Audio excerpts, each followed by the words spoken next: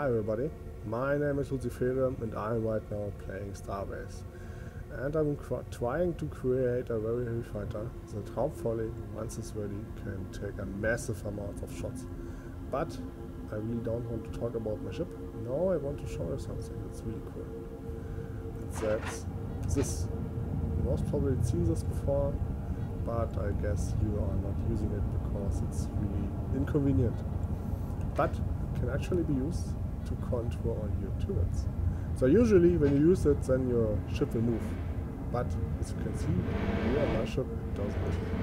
So you can usually, as you most likely will do right now, move your ship with your keyboard, right? It's uh, turrets ignore this, these uh, inputs, but they do not right, ignore these inputs. You can hear that they move, you can look turn, but if I choose to really see that they are moving towards my mouse. And that's really, really useful, because it definitely will help hit the targets much easier. Especially on such heavy fighters as this really. Yeah. Just going to fly around a little to show it to you, so I want to see how it looks.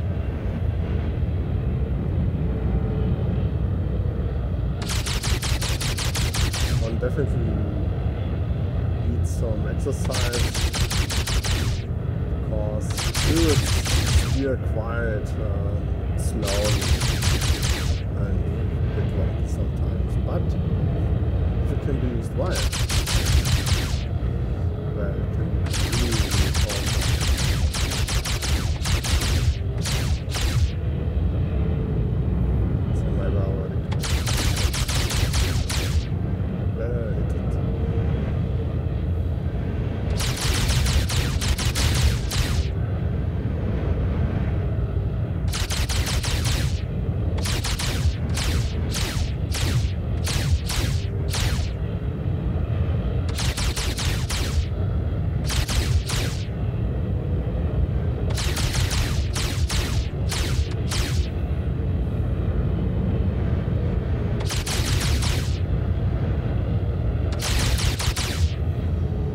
pretty much it.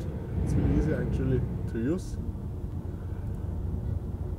A little bit of exercise is required to maintain them, so really use them I mean. But that's that's, that's it, yes.